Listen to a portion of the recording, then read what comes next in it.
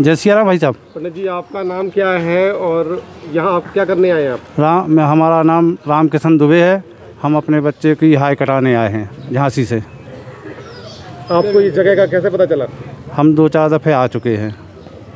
तो यहाँ बच्चे की हाय नज़र कटना क्या सच्ची में करती है कि हाँ नहीं ये सच बात है। हमें तो आराम मिल जाता है हमारे बच्चे को।